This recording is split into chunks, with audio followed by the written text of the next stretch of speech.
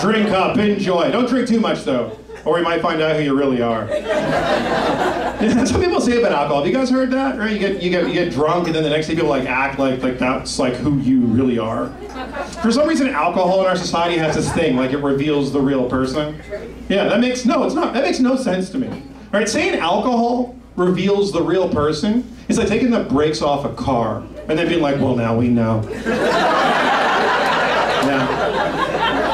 Yeah. hmm Yeah, I always thought that piece of shit wanted to crash into buildings, and when you take those brakes away, what do you know? First thing it does. Yeah, never trust a car until you take its brakes off, see what it does.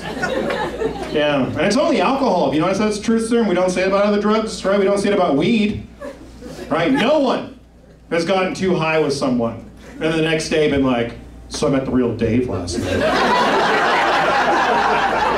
Yeah, turns out he microwaves peanut butter sandwiches. And he doesn't even come back to eat them afterwards. He just leaves them in there. Yeah. Just warms up and goes to bed. That's who Dave is.